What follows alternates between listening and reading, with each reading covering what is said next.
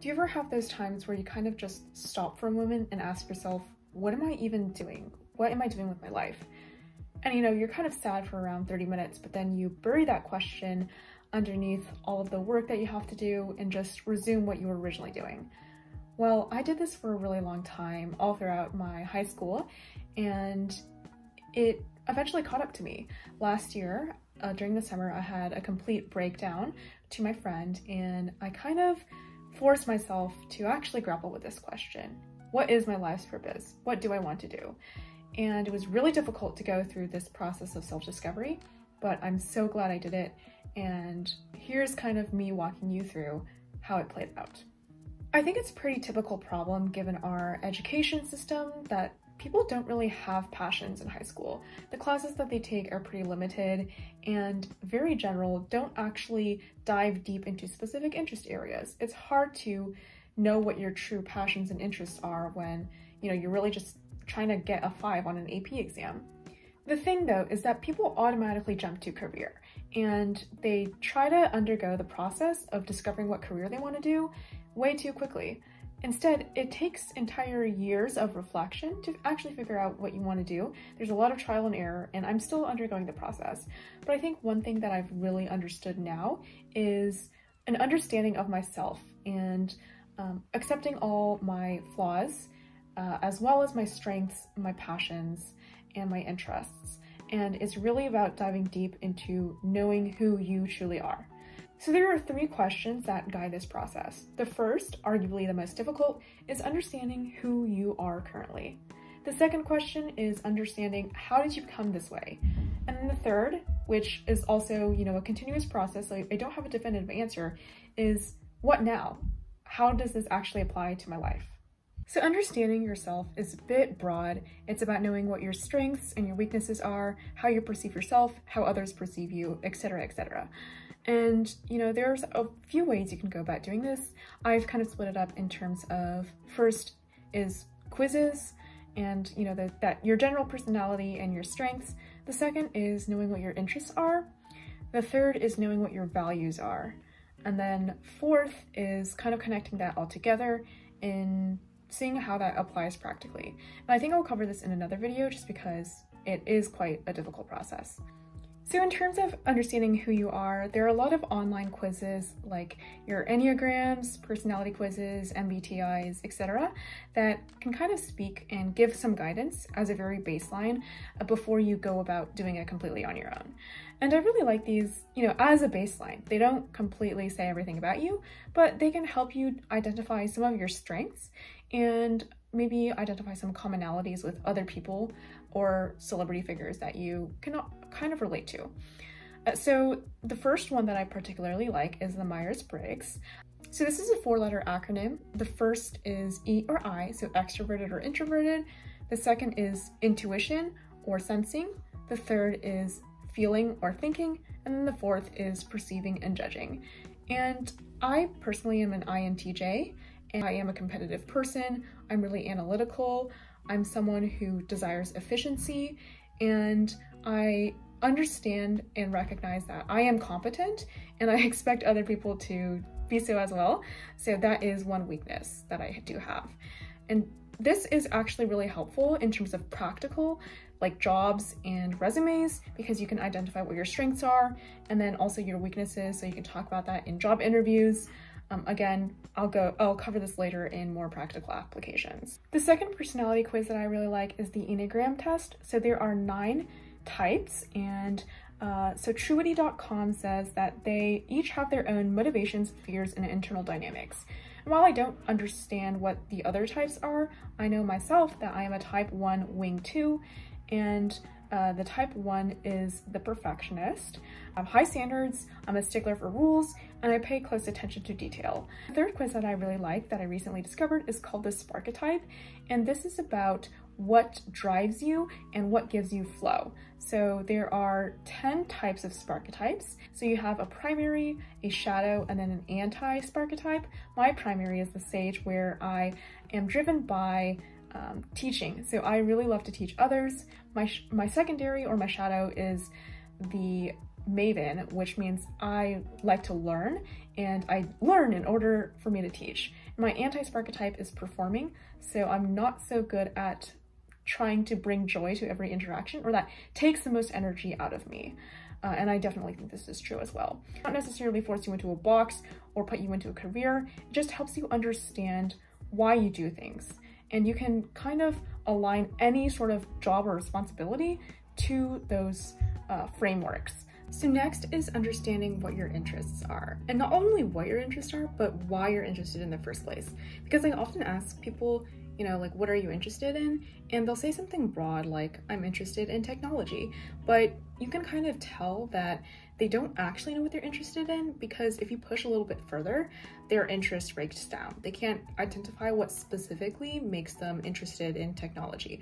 Is it that there's a lot of ways innovation can improve our livelihoods? You know, technology is uh, changing the way that humans socialize. There's a lot of questions that uh, are very specific that they perhaps are not able to identify. So a few ways to approach this is asking yourself like what consumes most of your time? And if you don't necessarily have a lot of interests or hobbies perhaps you aren't really doing that many things and you want to sort of discover what you actually are interested in. So this requires auditing almost all aspects of your life from the media that you consume. So what books are you reading? What podcasts are you listening to? What shows are you watching? To what classes are you taking, uh, what speaks most to you. Like in those media forms, what is it that makes you continue to listen, continue to watch, continue to engage? So last year, I was broadly interested in technology in China, and Again, I didn't necessarily know why though. So what I did was I really went down a bunch of rabbit holes and I found that the topics that I could go under rabbit holes for were the topics that I were actually interested in. If there was some sort of subject area that I thought I was interested in, but I researched for maybe one or two hours and then I just gave up, I knew I really wasn't that interested in it. So for instance, uh, Shanzhai, which is a specific type of copycat technology in China, I could go about this for hours. I pored over scholarly journal articles, I read books about them, I even talked to my parents about it to understand their perspective. I've revisited my own vacations back in Shenzhen and my encounters with this type of technology. And I got so invested that I wrote like a 4,000 word essay about it. Clearly, I do have an interest in that. And it doesn't necessarily connect with a lot of my classes, but that is where, you know, you step in you do need to make those connections yourself to make something, you know, just a vague interest into a very specific one that you can uh, apply to your own life and know how to pursue further as opposed to kind of just be passive about it. I've actually found that classes and internships are not necessarily the best way to explore interests uh, if you do not already know what your interests are in the first place. I'm interested in sustainability, and one of the reasons why I'm interested in it is because last year I went through the Pacific Northwest heat wave and I realized how our city's infrastructure is not prepared for us to deal with horrendous weather events. Uh, then it's how are you going to approach that interest? How are you going to explore it further? Uh, I personally love to listen to podcasts, I love to read books, but most importantly, I like to write and to teach others. So I pursued that topic in my international affairs newspaper class, and I also learned about it in my environmental economics class.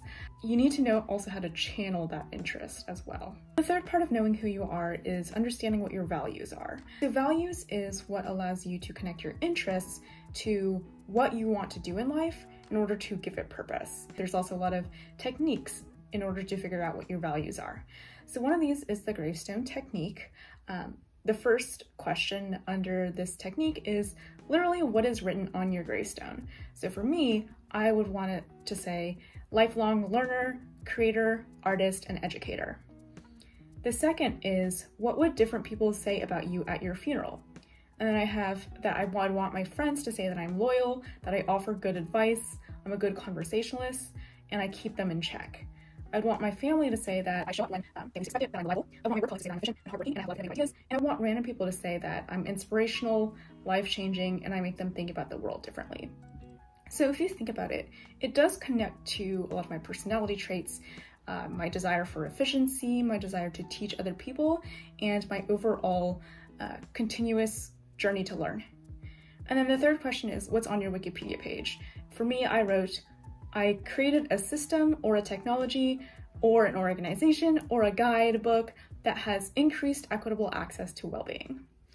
Uh, and then from there, I transformed it into a sort of question for life that I want to answer. And it's all right if this question changes, but currently it is, how can we leverage technology and law to maximize well-being in an equitable and sustainable fashion? And it kind of comes full circle because once you identify the question, you can then narrow down your interest areas and do more research in order to answer that question and continue to refine that question as well. And then finally to kind of synthesize everything together because right now you have a lot of data points. You know, you have your strengths, you have your interests, you have your values. How can you make understanding of what this is? I kind of wrote an about me page. This is a little bit narcissistic, but you don't even have to publish it. I do, however, think it's helpful to just write everything down so you can refer back to it and you can then refine it later once it changes. You can also track how your interests and your values have changed over time. And so essentially this has a sort of tell me about yourself short bio, and then it has my life question in it. And then it also has a motto. So my motto is, I'm a lifelong learner and thinker. I create and educate to appreciate and inspire. I honestly don't think that this motto will change. However, it might change in the ways that it manifests. Um, so I then break down what exactly do each of those words mean. What does it mean to be a lifelong learner and thinker? Uh, and what does it mean to create and to educate? And why do I do these? And then I also recorded some worldview changing novels, nonfiction books, short stories, creative nonfiction, and long reads that I've consumed because one way I do learn is through, you know, reading uh, and consuming media. So a last note is that change is completely okay. I looked back into my high school planner and my freshman year, I kind of answered this sort of tell me about yourself question. I said that I wanted to be an anesthesiologist, that I wanted to take biology and chem courses and do research over the summer with professors. Clearly that has changed because by the senior year of high school, I wanted to be a lawyer. Um, I was doing a lot of debate and social justice type of activities. Uh, my internship was at a legal clinic it was entirely different. Um, and while I'm still more into the social sciences uh, and the more creative side, so I no longer want to go into medicine, I still have changed a lot from my senior year of high school because now I'm more interested in businesses uh, and less into actual policy practice. So essentially, the process of self-discovery never really ends. But that does not mean that you cannot make it meaningful, intentional, and honestly really beautiful because it's been incredible to see how I've changed over time and to see my growth in my self-confidence.